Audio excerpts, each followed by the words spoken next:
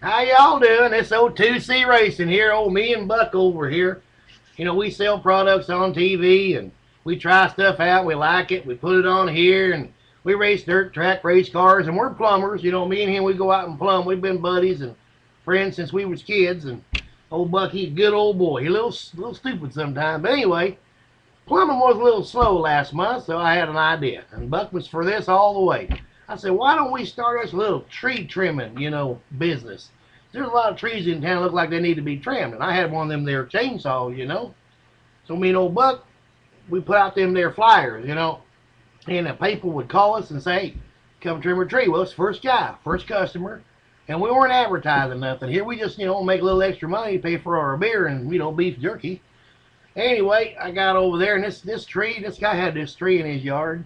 And this thing must have been eight foot around. It was huge. It was like one of them, looked like an oak tree on it. Was huge. I mean, that thing had to be 100 foot in the sky. And I was trying to figure out, me and old Buck, was over there by the truck talking, you know, together, trying to figure out how much we should charge him for this. And what he said was, he said, I'd like to treat, I'd like to trim down that tree a little bit. Okay, well, I heard tree and I heard trim and I heard down. So that old boy went to work, and old me and Buck, we parked our old truck out there in front, you know, good old truck. I told Buck, I said, well, you know, I think I think what he's trying to say is he wants to get rid of it because he said trim the tree down, you know, and, and I think I, I think I interpreted that right. So I told old Buck, I got my chainsaw out.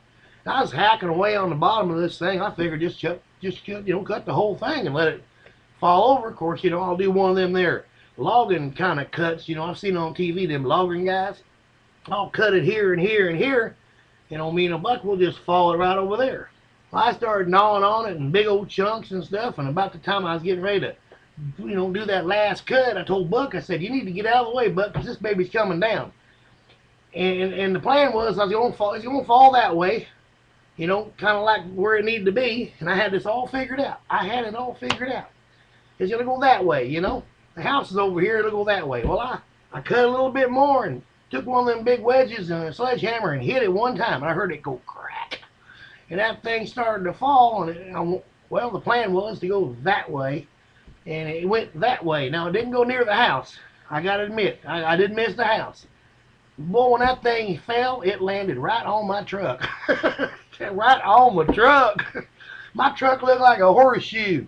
And guess what? Guess where Buck was when that tree came down? he was in the truck. Okay, yeah, well, so the the fire department came over and the polices and stuff and the ambulance and uh, couldn't find Buck for a while. They had to, they actually helped me out there a little bit. They, they trimmed all the tree up and cut it all down in smaller pieces and got it all stacked up out of the way. I figured that is helping me. Free money. Anyway, they got all down to the truck, and the truck was so smashed, old Buck, he was somewhere down there in the floorboard wrapped around the shifter. I got old four-speed. And they used the jaws of life, not that there was anything left of the truck to save. They used the jaws of life, and by God, they got him out. He didn't have a scratch one on him. First time Buck ever did something with me where he didn't get hurt. anyway, Buck, Buck, that was your lucky day, boy. anyway, so Buck, he's, he's surviving, didn't get hurt, but I'll tell you what, he did shit his pants because when that tree was coming at him, all he could think of was die. so the owner came home in the middle of all this cutting and trying to get Buck out and looked at me and boy, he was he was upset because that tree had been in his family for about 150 years. And, and he told me I was stupid and dumb and I should have never cut that down. Whatever gave me the idea to cut that tree down. I said, Mister, you said trim that tree down. He said, I just want some branches trimmed down off of it. Well, you didn't specify. so me and Buck did what we thought we had to do. I'm going to tell you right now, not only did I lose my truck, I got my best buddy here, though. oh, lucky. Anyway, old me and Buck, we I got my Buck buddy still. We didn't get paid for the job.